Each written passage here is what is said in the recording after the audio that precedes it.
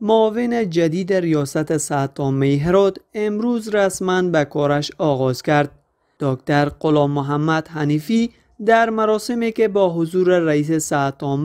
کارمندان صحی و نمایندگان بعضی از ادارهای دولتی برگزار شد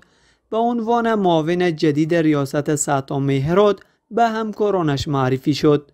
مقامات محلی میگن که این کار به هدف بهبود ارائه خدمات صحی و بر اساس پیشنهاد ریاست عامه هرات صورت گرفته است. بعضم آرزو این هستند که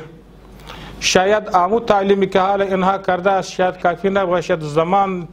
تغییر می کند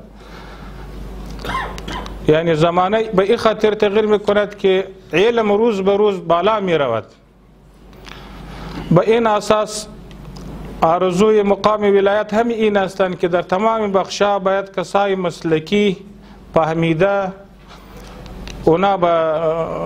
قرار گیرند اونا اینجا تشریف بیارن اونا هم کارای امورات را به جلو ببرند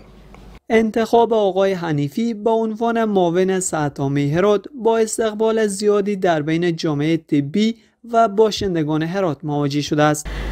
و من خیلی خوشحالم که امروز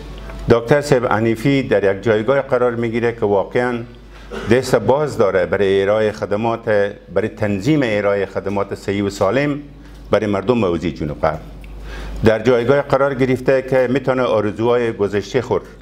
اونا هم مر برآورده بسازه آرزوهای ما برآورده بسازه.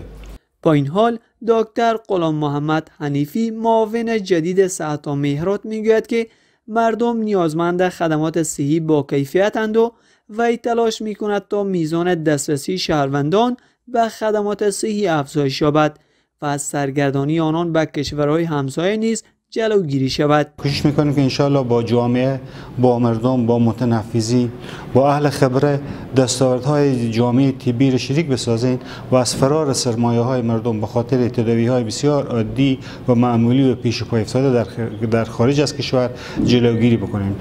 قابل یادآوری است که پیش از این دکتر محمد آصف کبیر معاونیت ریاست صحت هرات را بر عهده داشت.